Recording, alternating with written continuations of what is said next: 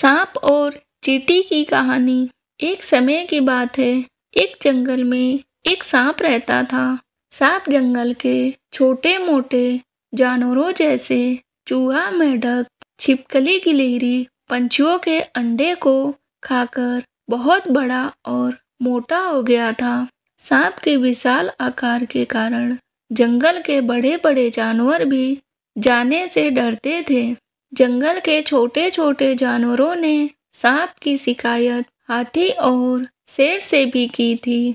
किंतु शेर और हाथी भी उस विशाल सांप का कुछ नहीं कर सकते थे, क्योंकि जब भी वह सांप के सामने जाते तो सांप अपना विशाल फन लेकर उनके सामने खड़ा हो जाता था।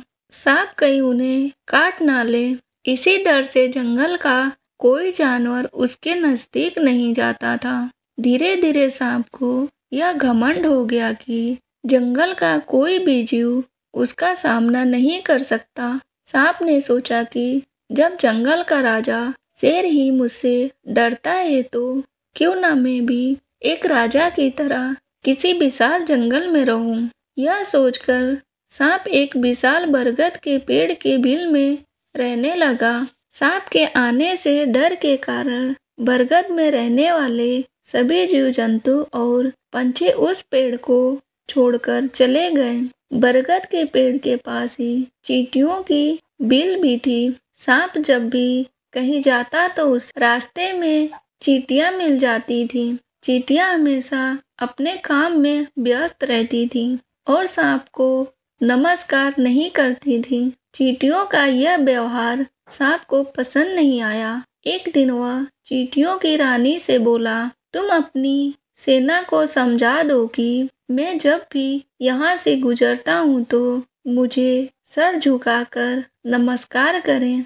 नहीं तो मैं सभी को मार दूँगा सांप की बात चीटियों की रानी को बिल्कुल भी पसंद नहीं आई और उसने सांप की बात मानने से इनकार कर दिया। सांप ने गुस्से में आकर अपनी पूंछ से चीटियों की बिल पर प्रहार कर दिया, जिससे उनके घर को काफ़ी नुकसान पहुँचा। सांप की इस व्यवहार से सभी चीटियाँ बहुत अधिक क्रोधित हो गईं और उन्होंने एक साथ मिलकर सांप पर हमला कर दिया।